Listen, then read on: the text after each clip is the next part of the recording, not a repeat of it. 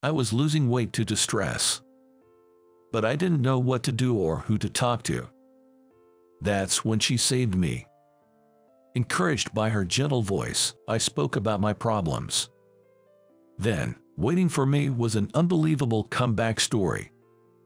My name is Jake Weston. I don't know what my parents look like. I spent my infancy in an orphanage and by the time I could remember, I was in a children's care home. I don't know who or where my father is, and my mother apparently abandoned me and disappeared repeatedly. She never came to visit, so I don't even know what she looks like. But I'm okay with that. Although I was not wealthy living in the facility, I knew that the staff took good care of me. There were many kids at the facility, so I never felt lonely. There was one kid I got particularly close to. Her name was Madison. She was a cute girl, a year younger than me. Madison came to the care home when I was nine and she was eight.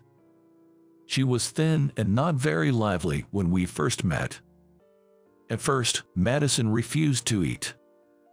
I want to go home to mom and dad.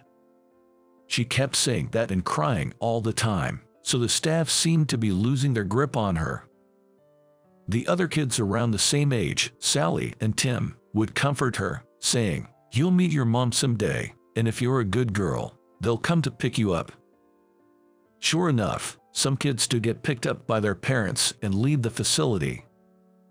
But not everyone. I gently approached Madison when she was down. Do you want to see your mom and dad? I want to see them. Seeing her teary-eyed, I felt like I had to protect her I told Madison that it's not lonely even without a mother. Because I had Madison and Madison had me. From then on, we supported each other like real siblings and grew older together. But we could only stay at the facility until 18 years old. After high school, I got a job at a small food manufacturing company and started living on my own. When Madison turned 18, she borrowed student loans to attend nursing school and started living in a dorm. Her parents didn't come to pick her up even when she turned 18. The company I was able to get a job at after high school didn't pay much. But I was grateful that they hired me, a high school graduate. In fact, I only had interviews at two companies when I was job hunting in high school. That was only possible thanks to the school going out of their way to vouch for me. I'm not picky. I would do anything if I could get hired because I have to live on my own. That's what I thought. So, I endured even if I was yelled at for no reason, had my chair kicked hard, and had to work overtime without pay. The president of the company I joined was a beautiful woman in her 40s named Arya but she was only nice on the outside and was harsh to the employees. By the way, the chairman was Arya's father, and he seemed to have the same personality. In particular, he seemed to use me as a stress relief and made fun of me.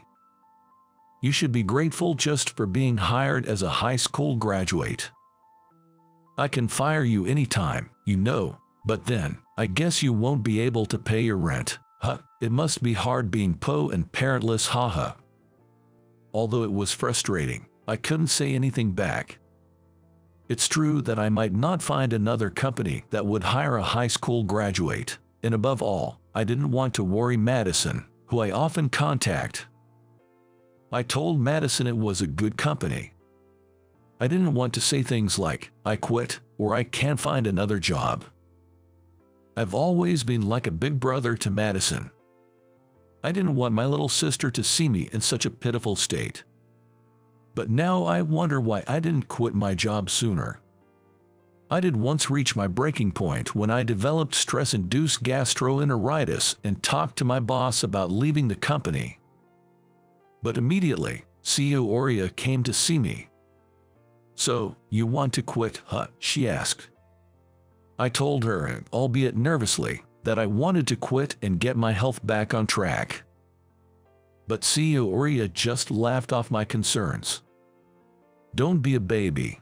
If you quit here, Are you just going to run away whenever something goes wrong at your next job? I don't intend to. I was weak and the words were not coming out of my mouth properly as I was being stuffed by the beautiful CEO. I'm not letting you off the hook.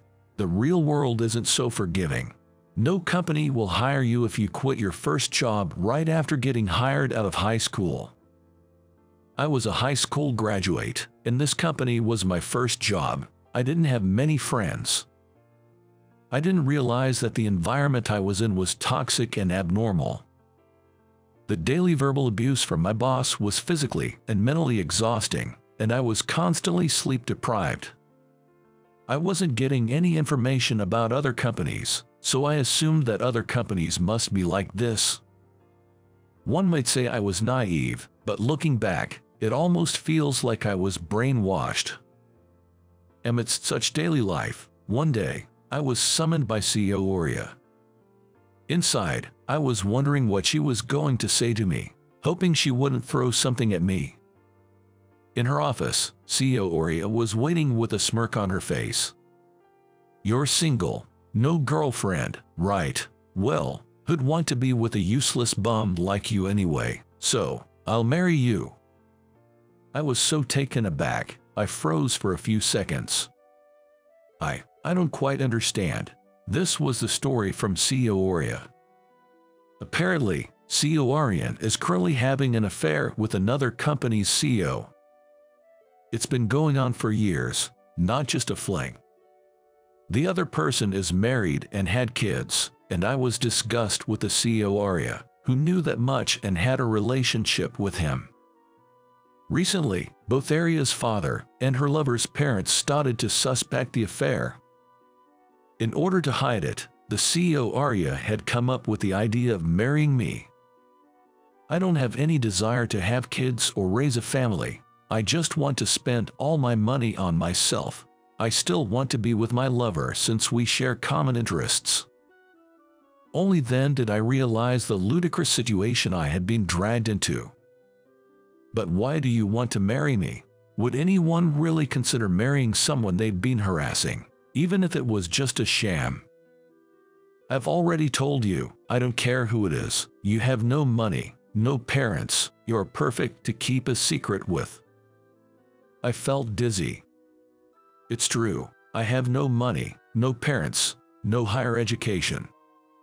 But being forced into a sham marriage, I felt like crying at my own pathetic state. And then, forgetting that I was in front of CEO Oria, I blurted out, I should have a choice too. Hearing this, CEO Arya turned beach red and threw a stack of documents from her desk at me. Well then, how about getting fired and understand? You might not find another job. You dare disrespect me. I won't let this slide. I'll give you some time, but you better say yes. If you refuse, you're fired. And I'm not talking about three months from now. It'll be effective immediately. From that day on, I felt like I was barely alive. Getting fired was a problem, but marrying CEO Oria would be hell, I knew that much. Unable to give an answer, I continued going to work. I couldn't eat, couldn't sleep due to anxiety. I didn't realize that my decision-making ability was getting worse. A few days after CEO Oria proposed to me, Madison came to my house. It was an unexpected visit. We hadn't planned anything. Seeing my face at the door, Madison was taken aback. Jake, you've got dark circles under your eyes and you've lost weight. You're not eating enough, are you? You look really pale. Madison's words made me realize that I might have lost some weight. I hadn't taken a good look in the mirror or stepped on a scale, so I hadn't noticed. Standing aimlessly at my front door, Madison forcefully nudged me from behind and sat me down on the living room couch. I came over because I was worried. You didn't reply to my texts or calls. I thought you were busy with work, maybe doing overtime, but here you are at home. You could have responded, don't make me worry like this. All I could muster in response to Madison's words was a weak year. In the meantime, Madison was briskly ranging Tupperware on the table. It seemed she had prepared some food. I made all the dishes you love, Jake. So eat a lot. I figured you might have been too busy to cook, so I also brought some rice. I'll put this in a bowl. Madison's voice was somehow comforting, and the aroma wafting from the warm dishes was incredibly appetizing. I took Madison's suggestion and started eating the rice and dishes. Grilled pork, casserole, fried chicken, potato salad, scrambled eggs, all my favorite foods. It had been a while since I had a leisurely meal or even ate something that someone else had cooked. Delicious. I said and realized that I was crying. In a panic, I looked at Madison, fearing she had seen me crying, but the tears just wouldn't stop. On the contrary, they began to flow more and more. All the hardship and suffering I had been enduring seemed to explode the moment I looked at Madison. I continued eating while sobbing. Madison simply watched me with a kind smile. If you're hungry, that's a good sign. Eat plenty. I made all this just for you, Jake.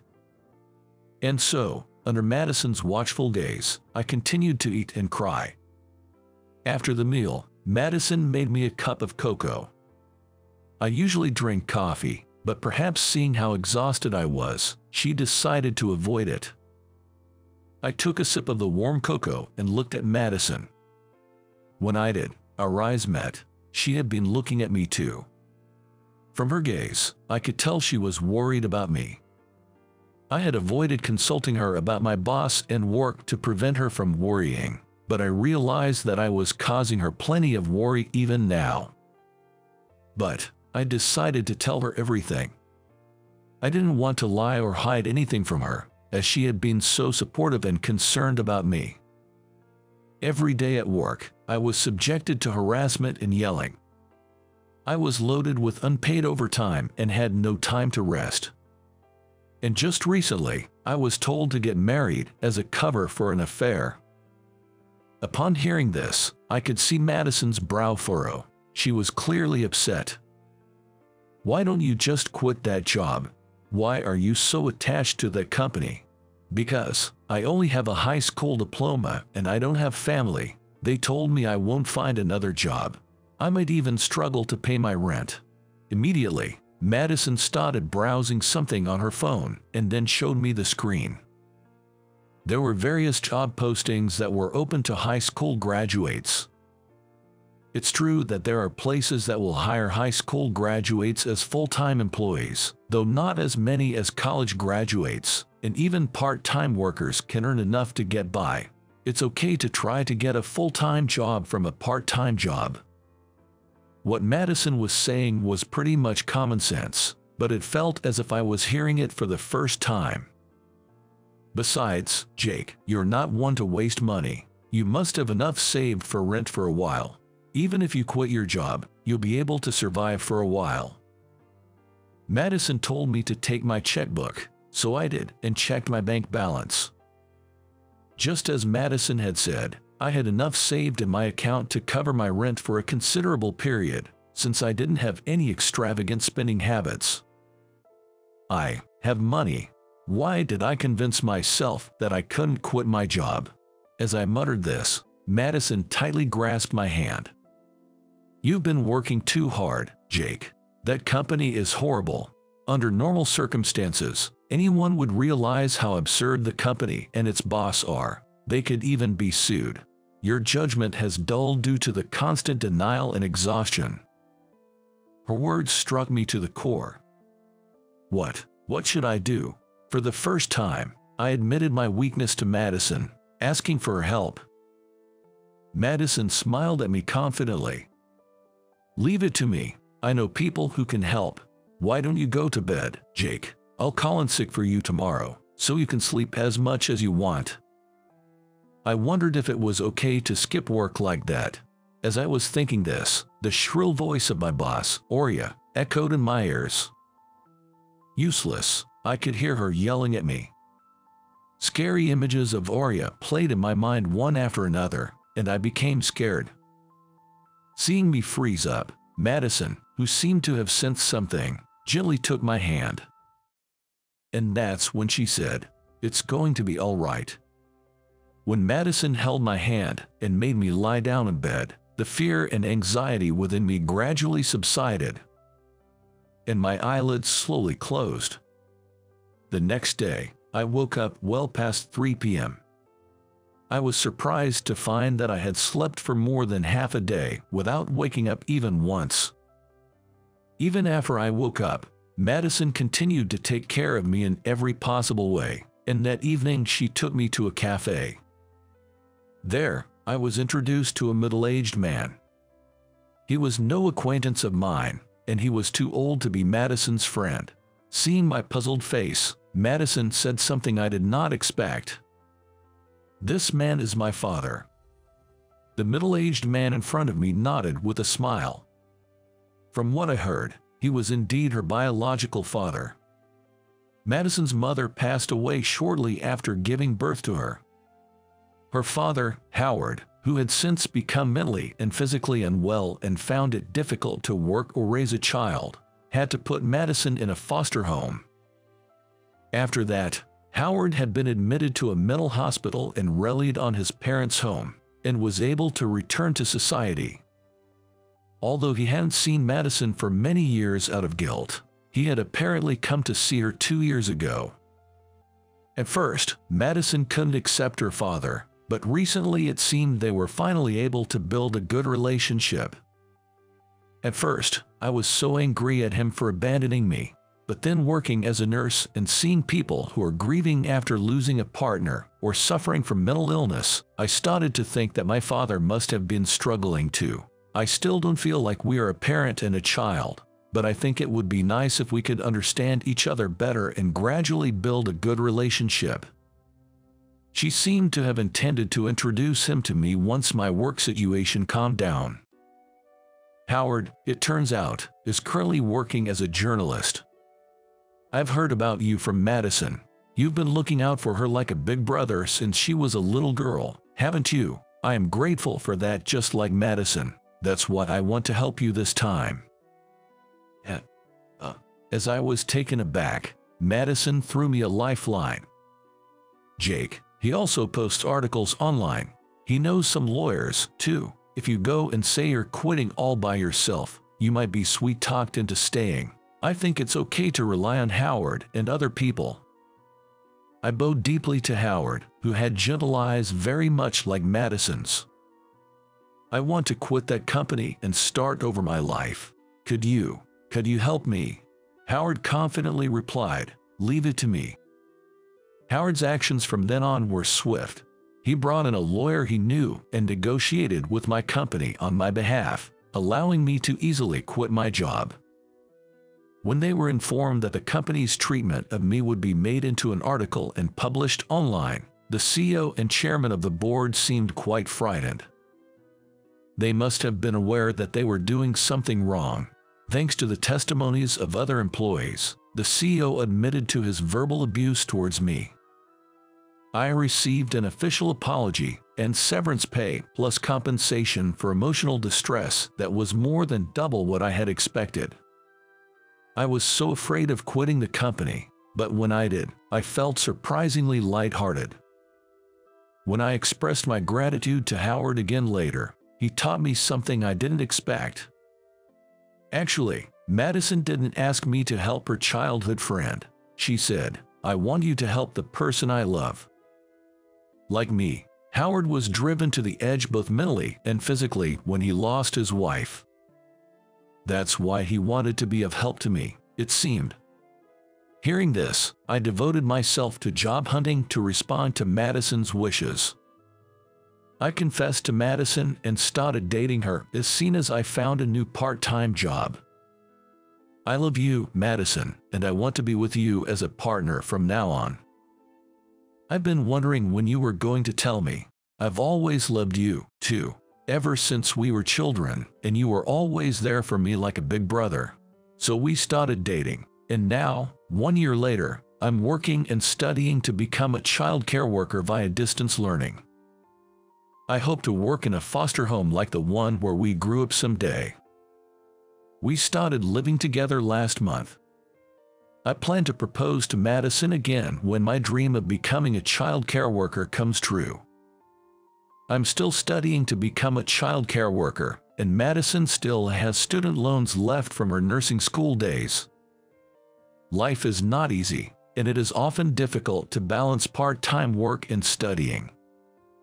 But I feel very encouraged to be able to support each other with Madison, and I feel happy to be living with the person I love. From now on, I want to live my life cherishing the people who care for me.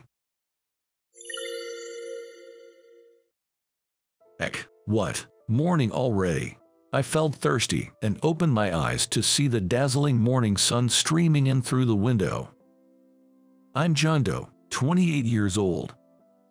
Just a regular single guy working at an advertising company. Yesterday, we had a company party Perhaps I drank too much, I can't remember anything. I managed to wake up my lazy body, which still had some alcohol left in it, and looked around to find my tie and bag carelessly tossed on the floor. Perhaps I had let loose a little too much, being our first party in a while. With a pounding headache from the hangover, I stood there in a daze when suddenly my cell phone rang. The call was from my colleague, Bob, Hey John, good morning. You okay after last night? Bob's voice on the other end of the phone sounded like he found something amusing. Maybe I messed up after all. Honestly, I'm a bit dizzy with this hangover. I can't remember anything from last night. Did I do something weird? No way. You don't remember doing all that. As the truth unfolded from Bob's words, my face turned redder by the minute. At last night's party, I met our junior colleague, Emma, after a long time. She was a sweet 24-year-old woman, a junior in the department I used to be a part of. However, for some reason, I had been keeping my distance from her. Apparently, Emma didn't find it amusing and took this opportunity to approach me. Don't you think you've been a little cold lately, John? You used to be there for me. That's right. Being a senior in the same department, I often listened to Emma's worries. But she consulted me so often without considering my convenience, it was frankly bothersome. I'm sorry, but I just switched departments and frankly, I have enough on my plate right now. Plus, you have a boyfriend. He might worry if you're frequently dining alone with another man, don't you think? Yes. Emma had a boyfriend. Yet, she kept insisting on talking and inviting me to bars and restaurants. I listened to her complaints, and because of our positions, I ended up paying every time. Looking back, I might have been taken advantage of. In the past, however, I was swallowed up by her strong pace and was at her beck and call. Tonight, however, I managed to express my intentions with the help of alcohol. I drank too much due to the tension, and my memory cut off from there. According to Bob, she seemed clearly discontent with my words. So, you won't listen to me anymore, John. That's right. I think it's for the best.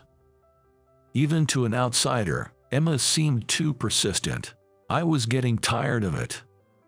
Then she provocatively said, You refuse my talks, but you're often out with department head Catherine, aren't you? Isn't that unfair? She's indeed beautiful, but somewhat aloof, and she's nine years older than me. Oh, you're not by any chance attracted to Catherine, are you? Don't badmouth Catherine. According to Bob, I abruptly cut her off by slamming my beer glass on the table. Emma, who only knew my usual calm demeanor, was taken aback by my sudden change. But the surprise didn't end there. Incredibly, I made a shocking statement at the party. Yes, that's right. I love my department manager. You just don't know it, Emma. The manager in reality is really cute. Who cares if she's older? Who cares about her position? I love her. I can't stand it. I'm crazy about her. Just saying it was enough to make me blush. But what was really bad was that at that moment, the manager was standing right behind me. She was late to the drinking party because she had errands that day, and she came at the absolute worst possible timing. After that, I drank too much and blacked out, fell on the spot, and Bob somehow got me home by taxi. Listening to the whole story made me despair at my own reckless behavior, but Bob seemed to enjoy it till the end. To be honest, the way you interfered, Emma, ruined the fun atmosphere of the drinking party. Listening to what you, John, said felt so refreshing. Maybe the manager was happy to receive a once-in-a-lifetime love confession like that. No, there's no way, right? If it's just me embarrassing myself, it would have been fine. But to even get the section chief in trouble is another story. This situation developed, but the trigger goes back six months ago. When I was transferred to the advertising department, the manager of the advertising department, Catherine, became my immediate boss. She is 33, five years older than me, and single. She has beautiful dark brown glossy hair tied back and beautiful features with cat-like eyes shining in a deep brown color. She stood out even in the office. Not only her work, but also the way she dressed in a suit on her slender figure was dazzling, and she had many fans in the company, regardless of gender. I was glad to be able to work under such an excellent person, but it seemed that she did not have a good impression of me, and actually said this to me. John, please stop messing up the relationships within the department. Currently, it seems like you're having a relationship with a female employee who has a boyfriend.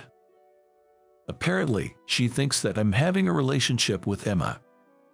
But as I mentioned before, I was just listening to her story. I tried to explain the details, but she said, that's enough, and cut off my explanation, so the misunderstanding was never cleared up. Actually, I've been approached by many women besides Emma for advice on their problems.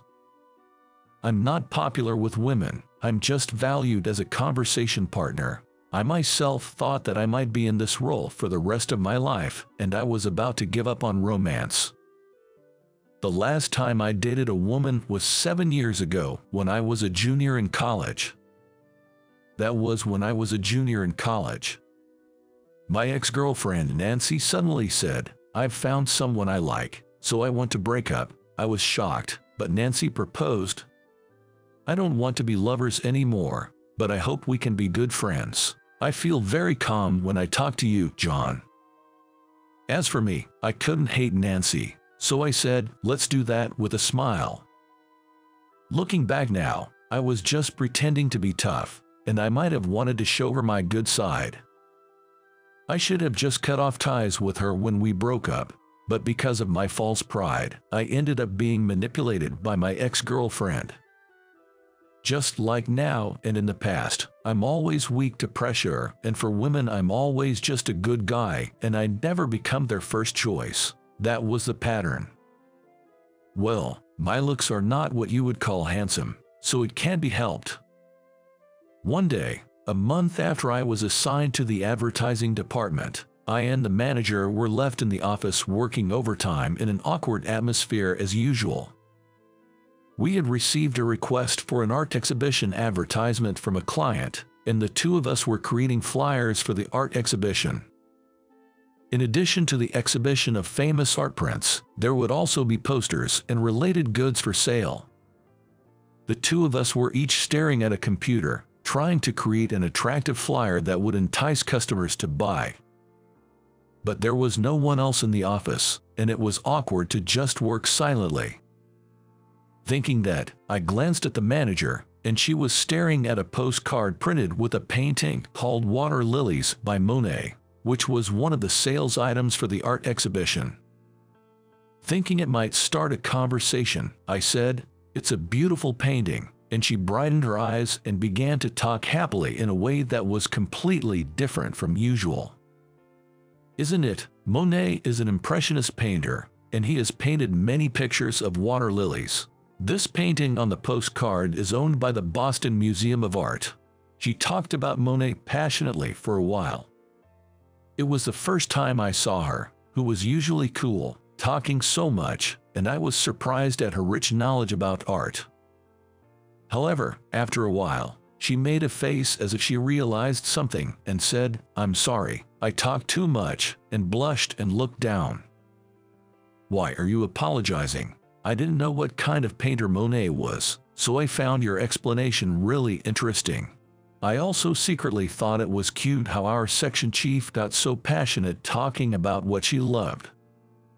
But she said, enough with the pleasantries, and shook her head side to side while blushing. I know. When it comes to talking about art, I just can't help but get excited. That's perfectly fine. If we're working in advertising, knowledge of art is absolutely essential. Our conversation continued to flow naturally, and we were able to make significant progress on our flyer. As the overtime for the day was wrapping up, I decided to be bold and asked the manager, would you like to go for a drink? I thought that since we had warmed up to each other, having a drink would deepen our relationship even further. Initially, the manager squinted at me with a skeptical look. Well, aren't you involved with your junior colleague, Emma? You don't plan on making a move on an older woman like me, do you? No, not at all. Emma is infatuated with her boyfriend, and I'm just someone she talks to. Really? Well, that's okay. I'm not that kind of woman. We'll have our drink and then head straight home. Despite the manager's initial wariness, we managed to have a drink together at a local bar. The manager seemed to enjoy her draft beer and loosened up enough to talk about art as she had before. She had studied art history in college, and I found her stories fascinating. She seemed to finally let her guard down since I made no further advances. As we left the bar, she said, I had a great time. I, too, enjoyed spending time with the manager. From that day forward, the walls between us came down. We were able to work more smoothly while maintaining open communication. Whenever our schedules matched up, we would go for drinks. It became our regular activity. One day, the manager opened up to me. I misunderstood you, John. I've heard from other employees that you often get consulted by female staff about their problems. I had an unfair prejudice against you, and I've been cold towards you, and I truly regret that. I smiled and said to the deeply apologetic manager, No worries at all. When someone hears that you're alone with female employees, it's a common assumption. But now, I can understand why Emma feels the way she does. Just talking with you, John, is healing in its own way. The manager shared her past trauma with me. You know how I get really excited and talk nonstop when it comes to art. My previous partner found that repulsive. He didn't expect me to be so talkative because I appear to be a reserved person. It was a shock when he broke up with me because of that, so I've been trying to keep quiet ever since. Looking back, I've been treating you the same way I was treated. It was wrong of me to form a negative image of you before getting to know you. I never imagined that the manager had such a past. She had been pretending to be someone she wasn't after being rejected for being her true self. I would never do that. That's because I genuinely like the manager just the way she is. Spending time together, she became someone special to me before I knew it. Catherine, I think you're incredibly charming just the way you are. We've managed to understand each other like this, so let's let bygones be bygones. Please, I'd love for you to continue sharing about art with me. At my words, Catherine showed a genuinely happy smile. Because you're such a good listener, John, you also satisfy my frustrations. I've been holding back for so long, so I'm really grateful. But recently, I've been a little worried about you. You've been frequently asked out by Emma, and you're paying for her meals, aren't you? I think it's a bit different if you listen to her concerns once in a while. You're right. I've been feeling stressed about my relationship with Emma lately, so I think I'm going to distance myself a bit. Until now, I could only find my sense of self-worth by being close to someone. But since meeting Catherine and falling in love, I've come to want to spend my precious time with my special person. That's how I came to the events of last night. Having fallen in love with Catherine, I tried to keep a distance from Emma, but I never thought I would make such a blunder while drunk. I was beating myself up over it, but I decided to apologize to Catherine first and nervously made a call. Catherine must have been appalled because I went on a drinking spree. Listening to the dial tone with a bad feeling in my chest, Catherine answered the phone quicker than I expected. Hello. Catherine, I'm really sorry about yesterday. My thoughtless actions have caused you trouble. I know an apology won't cut it, but please let me get down on my knees. Whoa, John, calm down. There's no need for you to do that. Just calm down first.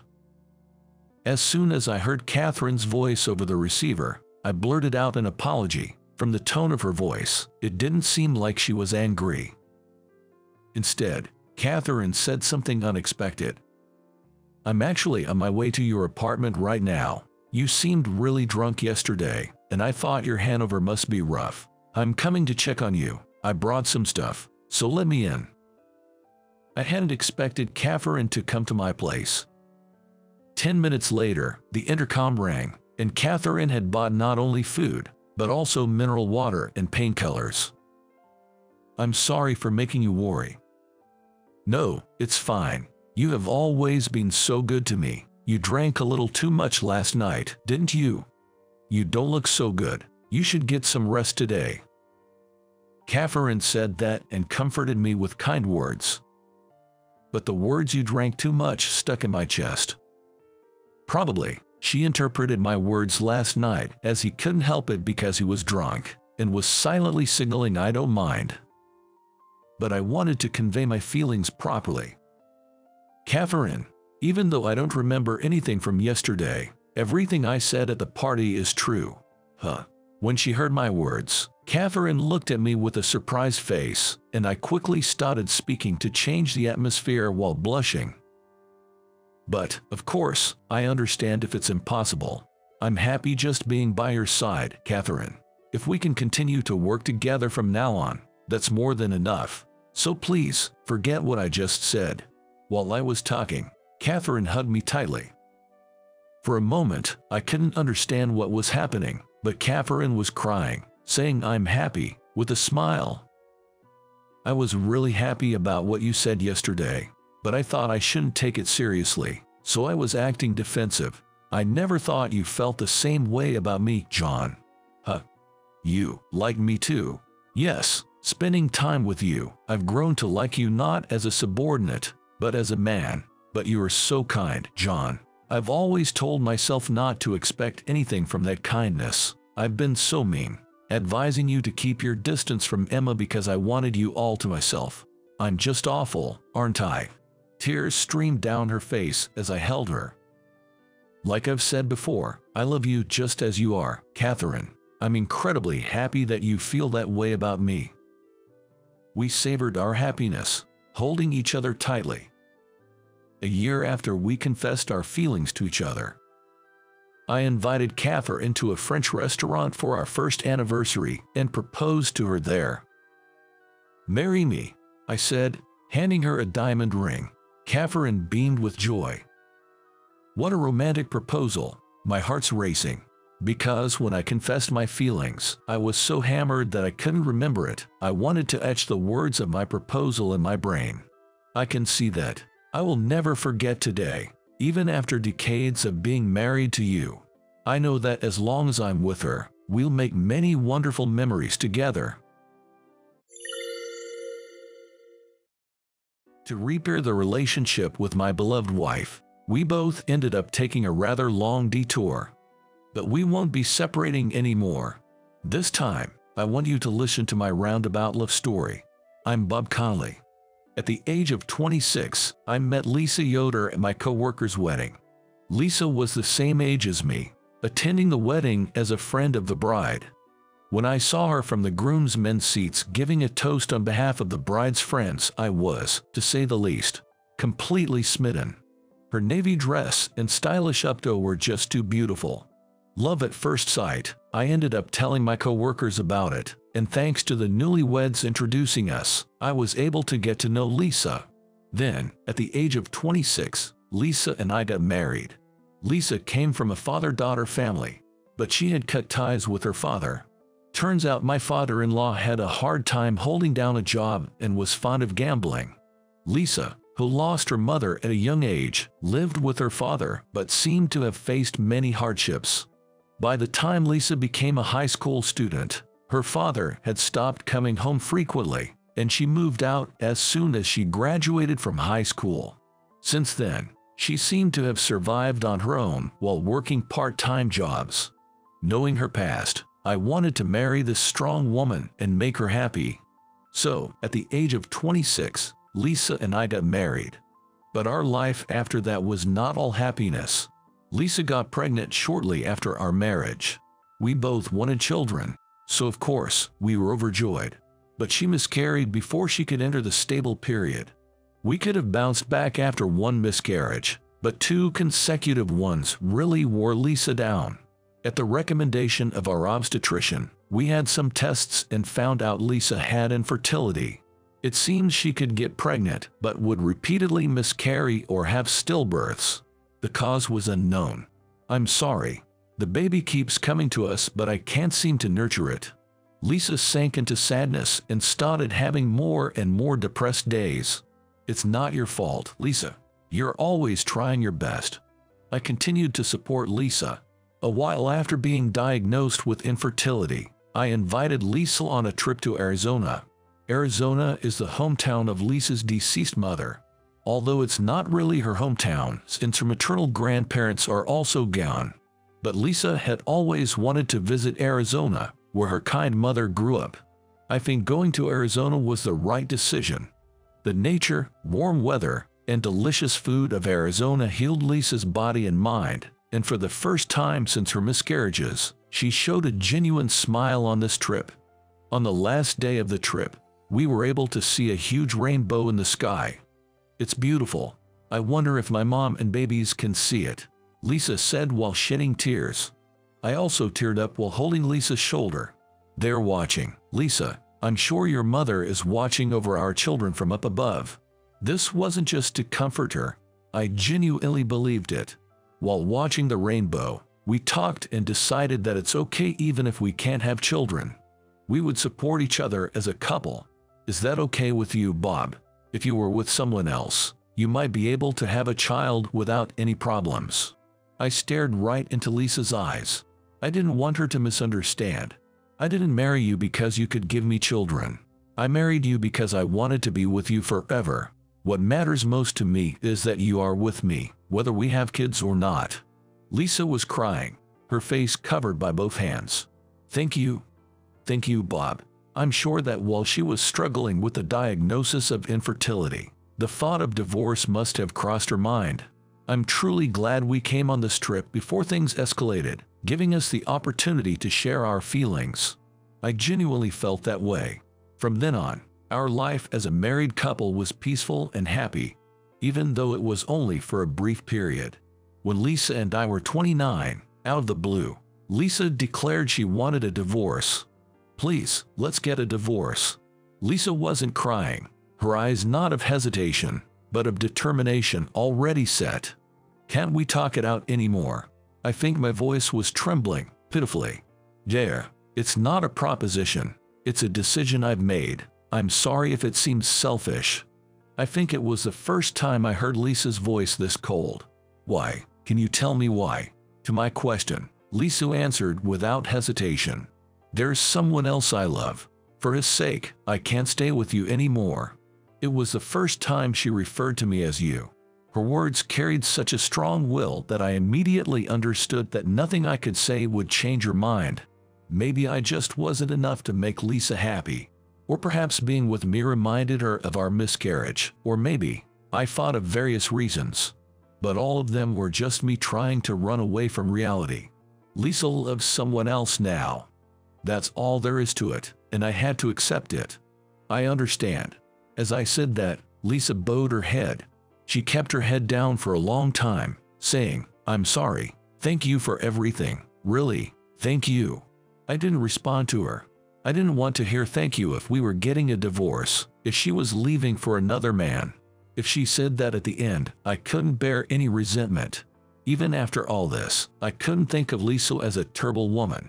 Lisa in my heart was always my kind, adorable, beloved wife. Lisa signed the divorce papers and left the house the next day. I was curious whether she really went to that man, whether she could find another home that quickly, but there was no way to find out. I contacted the bride and groom of the wedding that led to our meeting and asked if they had heard anything from Lisa, but they knew nothing. No one else knew where Lisa went. Lisa had quit her part-time job, and she didn't answer her phone. The day after the divorce, I lost track of where Lisa was. I decided to believe that Lisa is probably happy with the man she loves. But I couldn't help but feel down, so I immersed myself in my work. My coworkers worried that I was overworking, but only during work could I forget about Lisa. I even went on a blind date at the request of my boss. You haven't been yourself since the divorce, have you?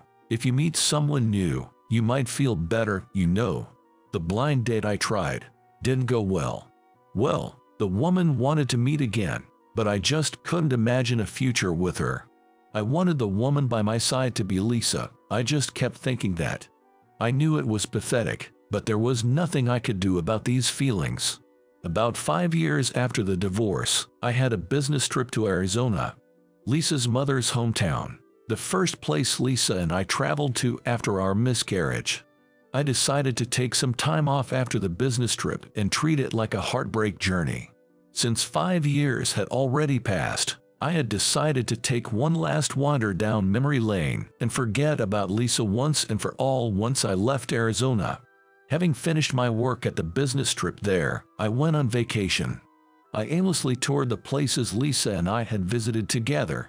I remember having a great time when we came as a couple, but being alone made everything seem tasteless and boring. And so, I ended up at a small local diner we visited. Wondering what we ate here, I entered the diner and heard a bright welcome. I recognized the voice all too well and found myself staring at the waitress. Lisa.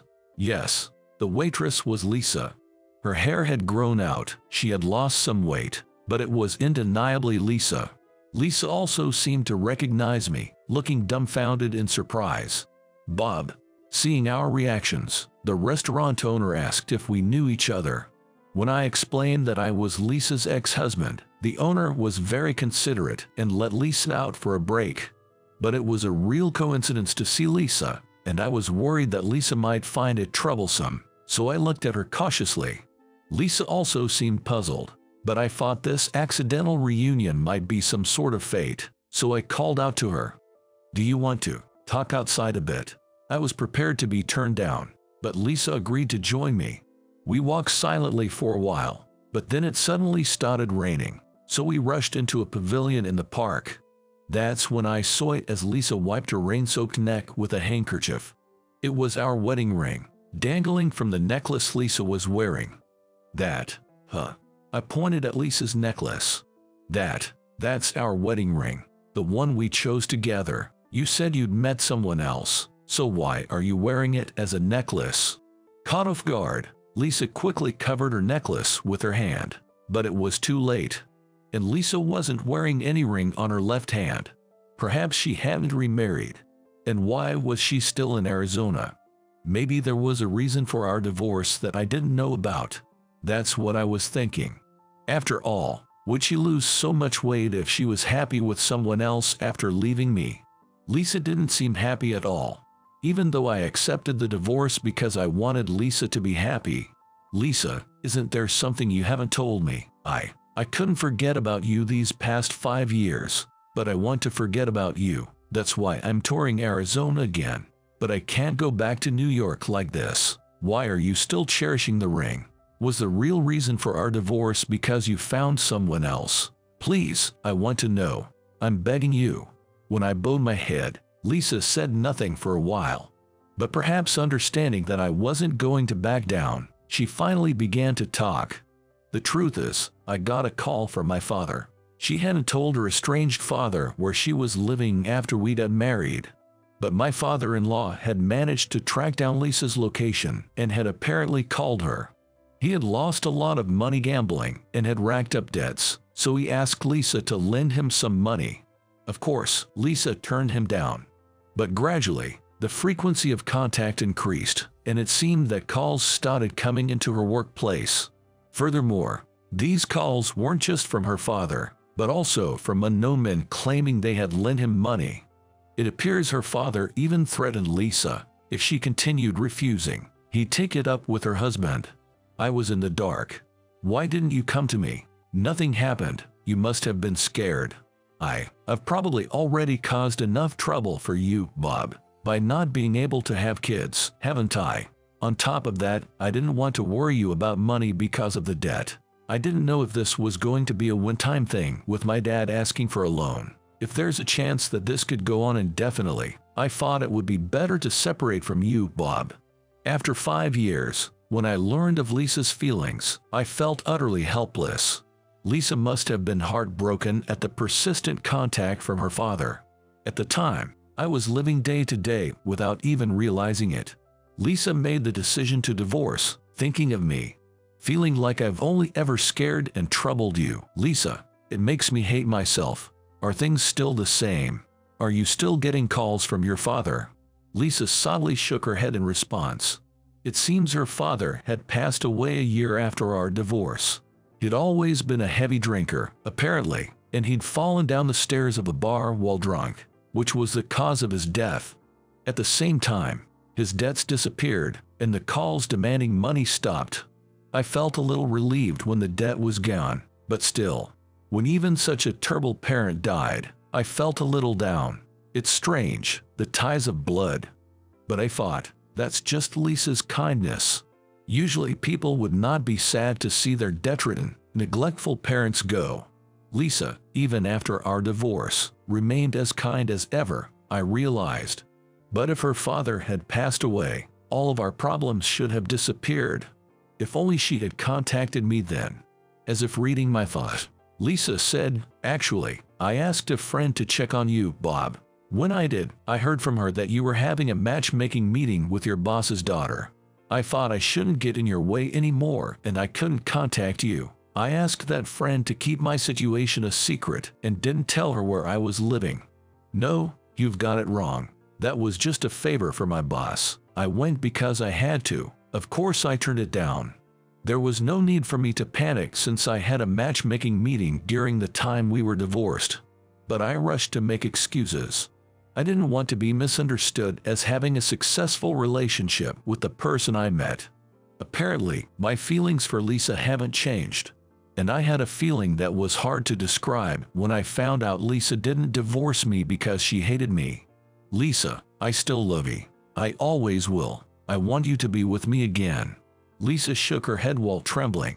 The debt issue has been resolved, but my infertility hasn't healed.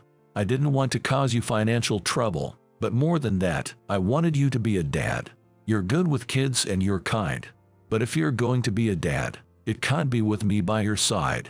I gently put my hand on Lisa's trembling shoulder as she cried. You know, if I could, I wanted to be the father of our child. But that was just, it would be nice if I could kind of thought. Didn't I tell you before? What's most important is that I want you by my side, now and always. Being a couple with you is what matters most. Just then, the rain stopped and a huge rainbow appeared in the sky. It was like the rainbow we saw together when we went on a trip to Arizona after Lisa's miscarriage. Lisa seemed to remember that too. That time as well, when you took me on a trip, we saw a rainbow just like this one. I said without taking my eyes off the rainbow. Yay, that's right. We decided then and there, watching that rainbow, that we'd support each other. I wonder if this is a coincidence. Huh, what do you mean? Lisa, wiping her tears, looked puzzled at my words. I made eye contact with Lisa and told her my thoughts. Don't you feel like this rainbow is cheering us on, like it's from Lisa's mom and our children, who passed away? I think we've never been alone. I believe Lisa's mom and our children have been watching over us all this time. Let's, let's stay together. I'm sure it'll be okay because they are all with us. As I said this, Lisa smiled and squeezed my hand tightly. When I think about my mom and our kids watching over us, I can't lie about how I feel. I feel the same way. I've been thinking about you, Bob, all this time. I hugged Lisa tightly at that moment. I've wanted to do this with you for the past five years. I was a little worried when I hugged her again after such a long time because she had lost weight. I've been waiting for this for five years. Just as Lisa wished, I held her tight.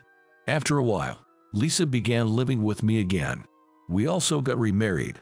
When we got remarried, we went to formally greet my parents again. And that's when Lisa spoke up right there. I will never let him feel sorrow again. I will make him happy, she declared. I was moved to tears when I thought back on the past five years. Lisa gently wiped away my tears with a handkerchief. I'm sorry for all the tears. It's okay. I'll be right next to you to wipe them away from now on. Despite being a man, I cried hard at her words. Two years after our remarriage, we were blessed with a child. We didn't know if the infertility treatment would work, but we discussed it as a couple and decided to give it a shot. Holding our newborn baby, Lisa said to me, Thank you for finding me again. Because of you, I got to meet this child. I was the one who wanted to say thank you. I will protect Lisa and our child. I am determined to cherish this happiness so that our family will never be separated again. My first love was a childhood friend, Lily. We always ran around the backyard together. One day, she took a spectacular fall. Witnessing such a sight, I couldn't help but gasp. Did you see my? She asked, her face turned bright red. My name is Abel Barnett.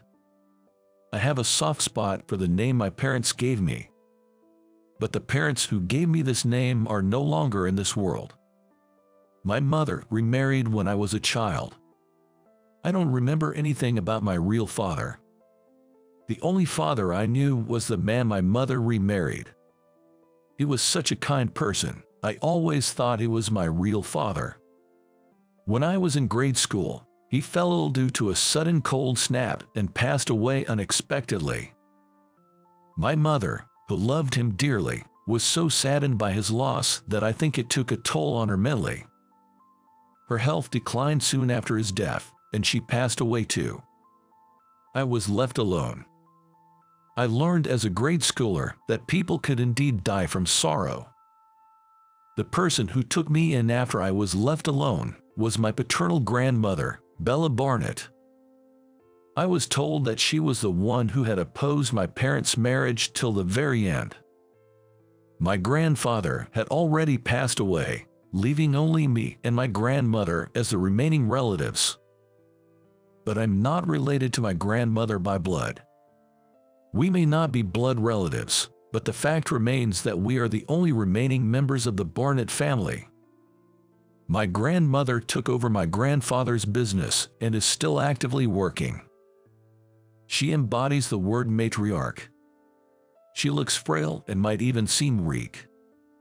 But once she gets going, her intensity is so great that even full-grown men bow down in front of her at the doorway, which I thought was quite terrifying as a child.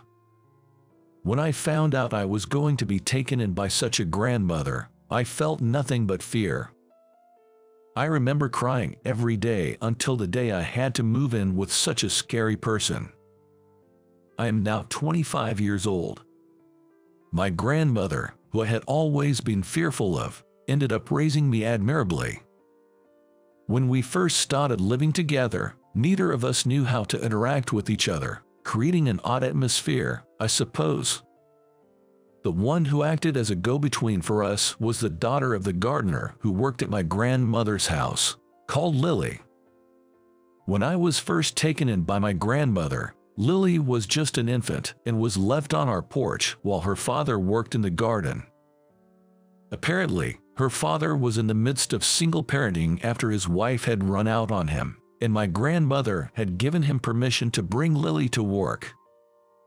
For three years, my relationship with my grandmother remained at a stalemate, and I never felt at ease when I came home. One day, when I came home from school, there was a mattress laid out on the porch, and the little baby was laying on top of it. When I peeked over, she gave me a big smile. Her face was so adorable that I poked her cheek lightly. Suddenly she started crying loudly, and I was taken aback. That's when my grandmother showed up. Welcome home, Abel. Oh dear, it seems she's in a bit of a mood. Picking up the crying infant, my grandmother began to gently soothe her. Seeing this side of my grandmother was something new for me, and I'm pretty sure my face showed my surprise. Swinging gently in my grandmother's arms, the baby seemed to be enjoying herself. She began to laugh gleefully. Grandma, can you do magic? When I asked that, my grandmother gave a slightly surprised look. Then, with a grin, she said, Yes, I can. Can Grandma's magic make my chest feel better too? Looking at the laughing baby, I said that. My chest always felt cold and hurt. It had been that way since I lost my parents. If my grandmother could do magic, I wanted her magic to make me laugh like this baby. I was a bit more immature than my friends at the time. In response to my words, my grandmother said, It's a secret, and gently placed her hand on my chest. When she came close, a strange scent mixed with the baby's milk smell and the incense my grandmother always burned. As my grandmother gently touched me, my chest became warm. After that, the choking feeling that had always been there in my chest disappeared like you wouldn't believe. That's amazing. It's amazing. It doesn't hurt anymore. I excitedly told my grandmother. I still remember how my grandmother laughed with a somewhat troubled look on her face. From that day on, the strange distance that had been between me and my grandmother vanished. Lily and I are five years apart. When I started middle school, Lily was in elementary school. Lily, who was free to come and go in my grandmother's garden, and I quickly became close friends. Our circumstances were similar, both missing our mothers, and we were closer than my friends at school. Having known Lily since she was a baby, I had always watched her grow up.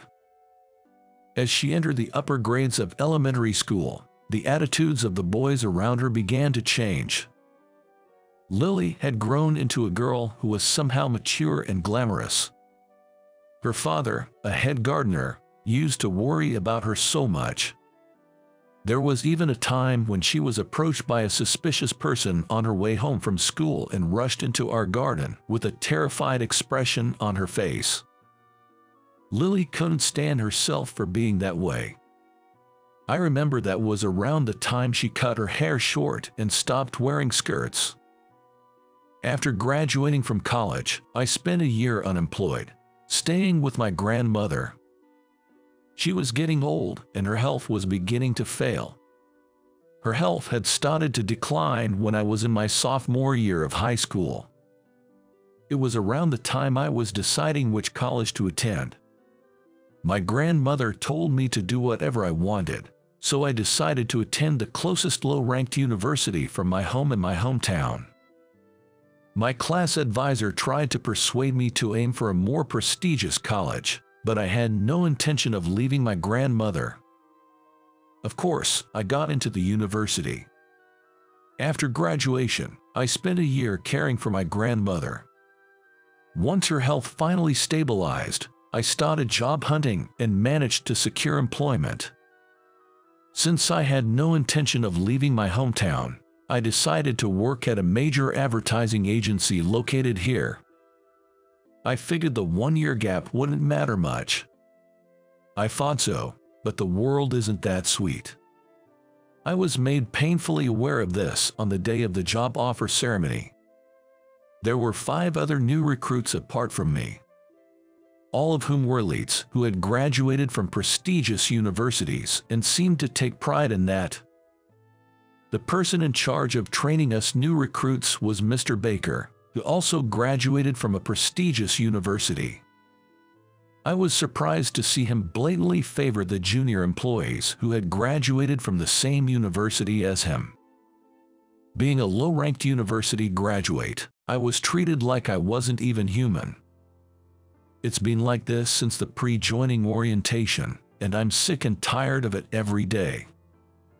Oh, you look so fed up again today. My grandmother, who had regained some of her energy, was sitting on a rocking chair in a room with a view of the garden, knitting something. Even though she was frail and getting older, the strength in her eyes hadn't been changed. Um, I've realized that the world can be quite tough. I tell my grandmother about Mr. Baker in a humorous way. My grandmother laughed heartily at my story. Wow, there is such an old-fashioned man like him still around. Huh, anyway, Lily's back after a long time. What? Lily? Hearing Lily's name blew away my gloomy mood in an instant. I haven't seen Lily, who should be 20 years old this year, since she graduated from junior high school. We've only been keeping in touch through emails. Apparently, Lily had consulted with my grandmother about her future path when she was about to graduate from junior high school. Lily was firm that she didn't need to attend high school to fulfill her dream. Of course, her father, Gardner Depp, was strongly opposed. He insisted that she should go to high school, leading to arguments almost every night. One day, when I came home from school, I found my grandmother and the Depps sitting facing each other in the living room. When my grandmother noticed me, she beckoned me over. I took a seat next to my grandmother. Mr. Depp looked troubled, and Lily was deadly serious. I quickly realized this was about her future plans. I understand what you're coming from, Dad. I get the importance of high school, but I don't need it. Lily was the first to speak up. Even so, you must understand the difficulties you'll face in the real world without at least a high school diploma, Mr. Depp said, seemingly troubled. He seemed past the point of anger. I want to work with horses. I want to become a stable hand. For that, I need to train at a ranch. I don't want to take detours for my dreams. It's easier to become a civil servant in local horse racing than in the major leagues. Still, practical experience is necessary. Starting earlier than others might give her an edge. Lily was earnestly trying to convince her father that it's a waste to enjoy high school life while setting aside what she really wants to do. I've always admired this side of Lily. She's so straightforward, without a shred of hesitation. She has helped me many times when I've felt troubled. Mr. Depp, Lily has a point. There's a lot to gain from high school life. But what if what she gains is not what she needs? Isn't it up to Lily to decide that? Mr. Depp seemed to choke on his words at my comment. I think he was lost for words. I agree with you. I think Mr. Depp is just worried about Lily. So, can you leave Lily's future to me? I'll find a proper training place. I promise. Let's witness the path of the youth together. My grandmother gently spoke to Mr. Depp. I've always thought there's a persuasive power in my grandmother's voice. It's hard to argue against it. In the end, Mr. Depp gave in, and Lily left for a ranch in Alaska right after graduating middle school. We haven't seen each other for quite a while since then. Now, Lily is back from Alaska. I felt a bit upset that she didn't contact me. She said she didn't want to bother you because you're busy with your new job. I'd rather see her healthy and happy than avoid meeting out of consideration. I genuinely felt that. The next day, there was an orientation before starting my new job. I was heading to the company with a feeling of disgust from early morning. Mr. Depp was already starting to prune the plants in the garden. The scent of the plants calmed me down a little. The snipping sounds echoed pleasantly in the still cool air. I had some time left, so I quietly watched Mr. Depp working for a while. He's aged a little and gained the dignity of a master. Apparently, He's planning to take on a few apprentices next year. I think that being a craftsman himself, Mr. Depp must have understood Lily's feelings better than anyone. As I got older, I finally began to notice things like this. Master Abel, is today your company's entrance ceremony? Mr. Depp, noticing my gaze, stopped his work. Even though I'm 25, he still calls me Master Abel. It feels a bit awkward, but it's also somewhat comforting. Actually, today is just an orientation.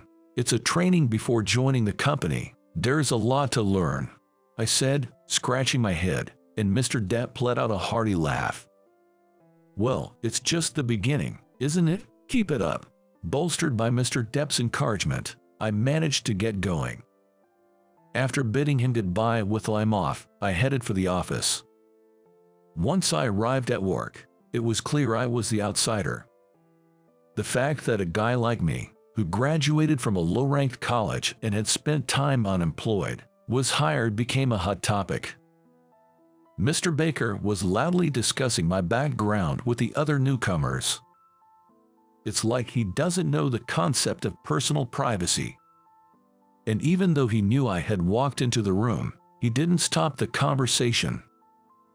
He ended it by saying, he must have some big connections, looking at me right in the eyes. I try not to let it get to me, but it's irritating to be called Mr. Bottom T University all day. What were you doing after graduation, Mr. Bottom T University? Unemployed, right? Were you a NEET? I'm fed up with Mr. Baker, who keeps picking on me at every opportunity. Having to listen to his stories about how much effort he put into getting into this company and about his university exploits makes it hard to absorb the important training content. But the obvious bullying didn't stop there. I was the only one not given any documents or not notified of room change from the conference room. It was like the kind of teasing you'd see in elementary school. It was so ridiculous, I seriously considered leaving halfway through. If this is what working here is like, this could go on forever. That thought alone drains all my energy.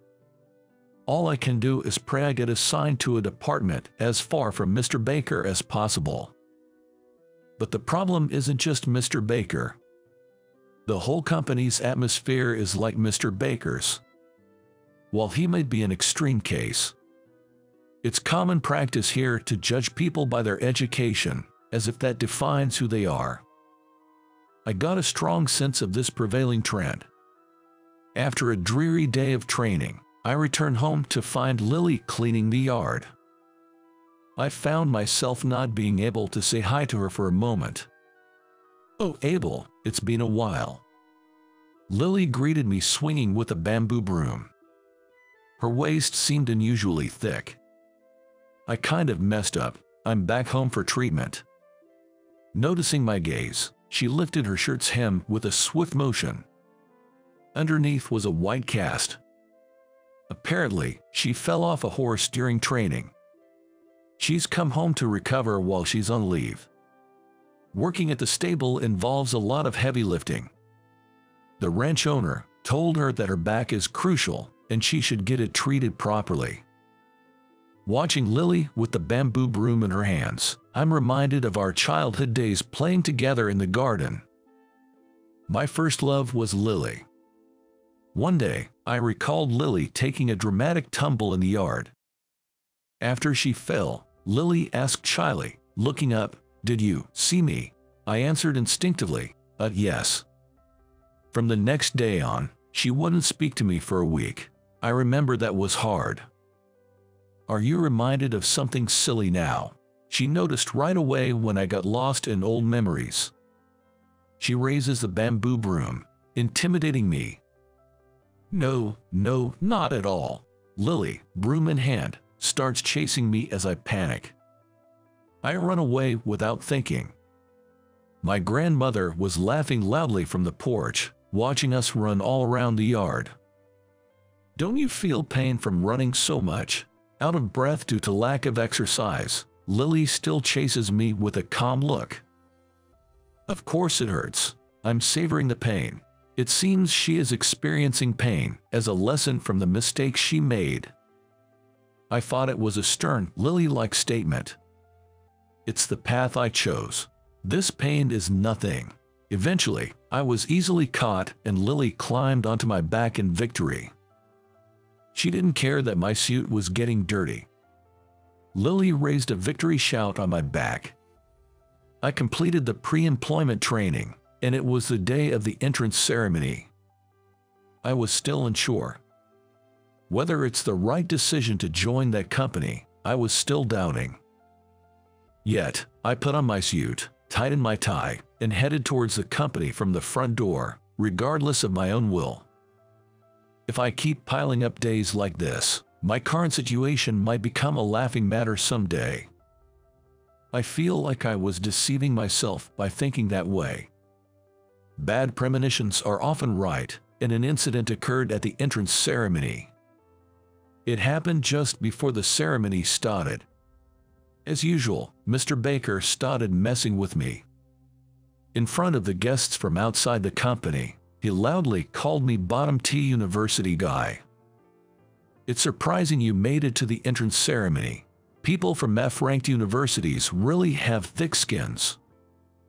Mr. Baker intentionally speaks so loudly that the guests can hear that I'm from a bottom tier university. I tried to brush him off with a forced smile. How did you manage to get employed?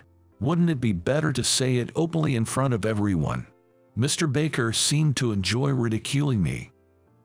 It's honestly annoying how persistent he is in picking on me. The guests started to stir a bit. Probably a reaction to the word nepotism. I'd really like to see the face of your parents who got you in here using connections, sneered Mr. Baker. Mr. Baker said it triumphantly to me, who said nothing in return. You want to see his parent? I raised him. A stern voice echoed throughout the hall. I quickly turned towards the voice and saw my grandmother sitting in a wheelchair. Dressed in a suit, with a guest ribbon pinned to her chest. The wheelchair was pushed closer to Mr. Baker and myself. It was Lily, who was pushing the wheelchair. Mr. Baker was taken aback at the sudden appearance of my grandmother. The moment my grandmother moved forward, the executives began to rustle. I raised him. Do you have a problem with that? My grandmother's eyes were filled with anger. Mr. Baker was at a loss for words at her power. Just a moment ago he was openly belittling me. Now he was like a frog being stared down by a snake. Now, what to do? After my grandmother said it, casting a glance towards the executive seats. The executives were flustered by her appearance. Her company is a client of this company. Most of the deals are made with the company my grandmother runs. It seems that my grandmother was called to give a congratulatory speech to the new employees. Of course, the executives knew about me. They had even told me during the interview that I wasn't hired due to nepotism. Mr. Baker seemed to have realized his mistake as he noticed the executives are getting agitated. Isn't the level of civility in this company too low?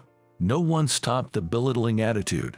I think this disqualifies it as a business partner and as Abel's workplace. What do you think about that, Chairman? Lily said. My grandmother nodded slowly at Lily's words. Then she turned to me and said, Let's go home, Abel. I felt oddly refreshed. Right, I didn't want to join this company. I've caused a fuss. Please continue the ceremony. I'll take my grandson with me. We'll contact you about the contracts, said my grandmother. The executives raised their voices. Wait, please. Mr. Baker was being yelled at to apologize. But it seemed like my grandmother didn't hear any of the commotion. With a cool face, my grandmother said, let's go home. Back home, I faced my grandmother again. She told me that she had been worried about me going to work every day with a gloomy face. Abel, don't you have something you really want to do? Honestly, I was surprised when you chose that company.